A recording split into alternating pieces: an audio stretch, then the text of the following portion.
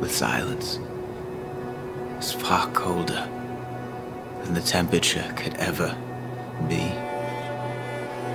The frost covers me from head to toe, but I don't feel it.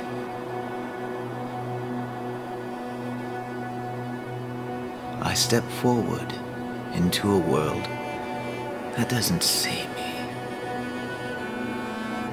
Or maybe I don't really see the world. I keep walking,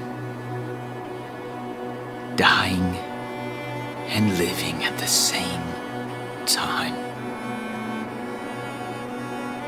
I'm pulled to you. You draw me to places I don't know.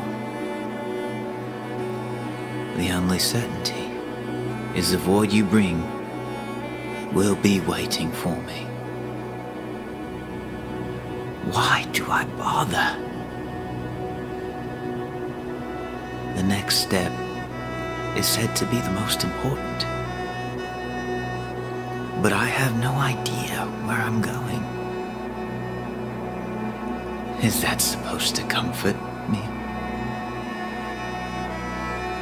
How do you embrace the unknown when it's indifferent? I keep going out of habit more than anything else. You see, the body has its own mind on this.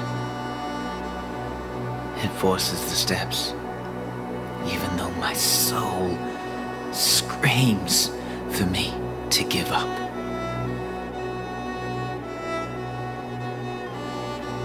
Sometimes, I think I can see you. I swear, I can feel you near me. Even though you've been gone for decades. But what is time to a soul?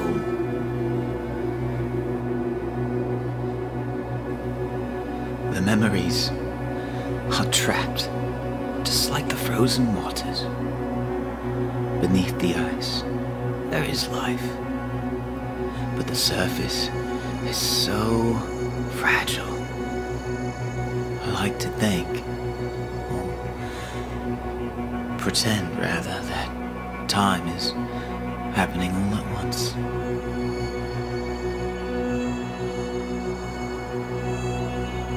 This way, past is happening with the present.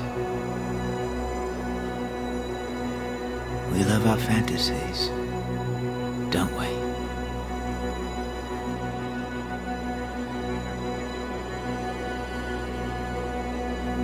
So, I sit with those memories. Then, something strange happens. It's when I stand still.